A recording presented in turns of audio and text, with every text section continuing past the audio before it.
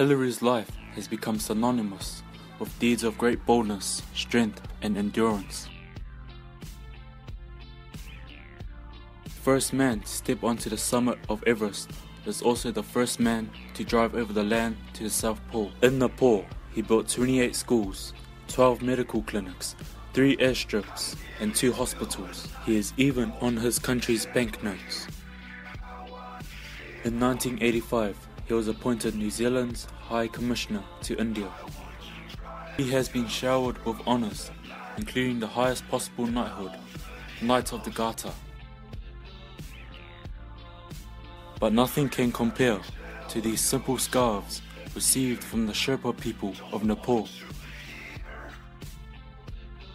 These people know what he has endured, but this is nothing in comparison to what the Nepal people are enduring now. The Nepal earthquake caused by two tectonic plates moving together on the fault line. This is when a 7.8 magnitude earthquake struck 10 kilometers below the surface. This resulted in these upcoming scenes.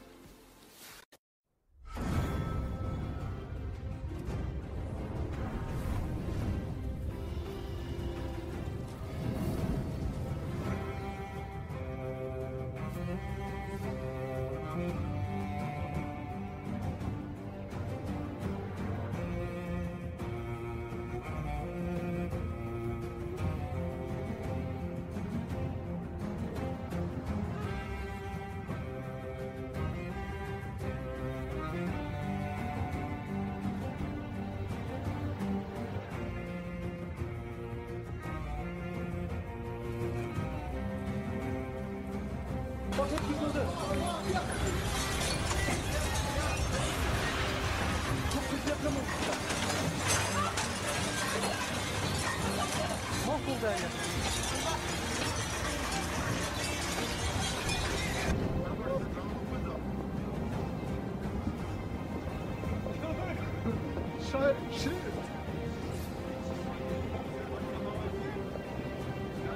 Oh, oh!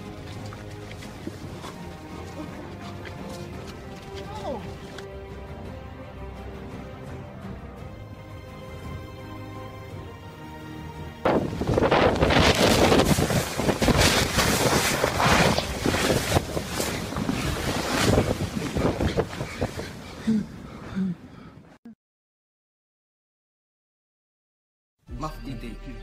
So here's your chance to see where your flesh is scared. Sir Edmund Hillary Collegiate is asking you to please donate. Please donate. Please donate. Please donate. We need you. We need you. We need you. We need you. We need you. We need you. We need you. We need you! We need you.